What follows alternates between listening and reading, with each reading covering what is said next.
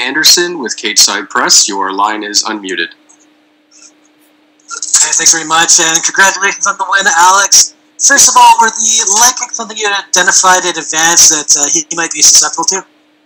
Uh, no, I kind of like felt him stepping kind of heavy, and uh, you know, I took the shot. I took a shot at it, and it kind of kept working. So, um, you know, my coach told me don't throw crazy, you know, naked kicks. Touch first, and then throw the kicks. And we kind of kept going back to it. Seen him hurt, so I kind of just, uh, you know, I let him up. I know he's dangerous on the ground, so why not? absolutely came out with uh, a huge win and a bit of history in it. I'm not sure if you realize, but uh, this might be the first time we've had leg kick TKOs on back-to-back cards. Uh, really? Uh, yeah, man. It's uh, I seen last week. I I forget his name. Uh, got it. So that's pretty cool, man. Hopefully that gives me a bonus. Absolutely. And aside from the bonus, where do you think this leaves you in the division? Because the title's expected to be contested later this summer. A lot of people had Formiga as a, a potential title challenger, and now you've got three straight wins, albeit one was at 135.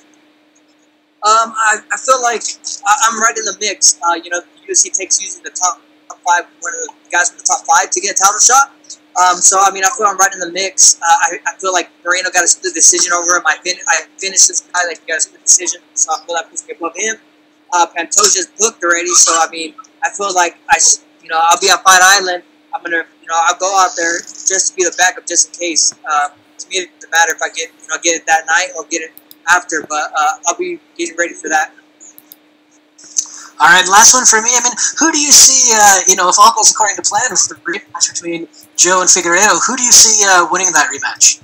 I, I, just think uh, Figueiredo hits uh, too hard. Uh, Joe's great; he's good everywhere. Don't get me wrong. Uh, but from the first fight, I thought the ground was going to be the big advantage, and uh, uh, surprised me with with the jiu-jitsu. So I mean. I got Figueroa winning. You know, if Joe wins, I'll be cool because then you know when I rematch him and I beat him, that'll be for the title. All right. Well, congratulations on the win tonight again. Thanks, man. I appreciate it. We'll go next to James Lynch with the score. Your line is. Congratulations, Alex! A really big win here tonight. Um, I, I, wanted to know, you know, with Chito Vera, your teammate, you know, sort of losing that controversial fight a few weeks ago. How much was that on your mind to, you know, get one for the team and really sort of boost the morale? Um, it's kind of one of those things, man. Like I, you know, I love my teammates and stuff, but you can't think about stuff like that, about what you know happened the last event stuff like that. It's a whole new event, different judges. I think, uh, you know, so I, I can't focus on that. It sucks that, you know, I feel like my my my buddy got screwed, but I can't can't put that in your head because then you're forcing the finish. Fair enough. Um, as far as the game plan, was was it to just go in there and chop his legs down, or was there some other plan, and, and just sort of you know saw an opening and went for it? I was to stay on the feet, obviously, uh, just kind of see where I was going. If we're in the clinch, and throw the knee and elbow.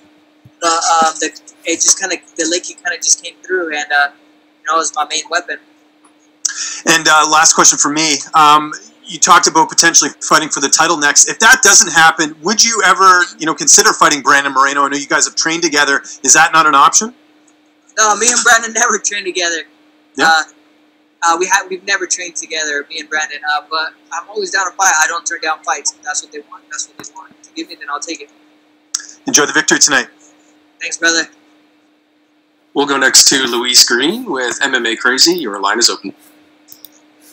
Hi, congratulations on the win tonight. Um, obviously, a very di- different atmosphere for some people going into this week with it being at the Apex in a smaller cage. But you've obviously had the experience from being on the Contender Series before and being in that smaller cage. How did you find the atmosphere tonight? And was it nice to be back in a smaller cage? Uh, yeah, it's always fun to be in the small cage, man. More action, more you know, more activity. And it's not that small to the lighter guys. You know, usually the bigger guys think it's small. But um, feel I felt good. It felt good being in that environment. You know, no distractions. You don't have to have the crowd behind you and stuff. Uh, you know, it's it, it's definitely different. You know, I love having the crowd behind me, but it's also different when they when they're not there. You kind of can hear your coaches. You can hear the other person breathing and stuff. You can hear the punches land. So it's a different it's a different feeling. And you mentioned um, that there were some tragedies that have happened uh, recently to some people close to you. How has it been dealing with that on the run up to this fight? And does this you know make this victory any sweeter for you?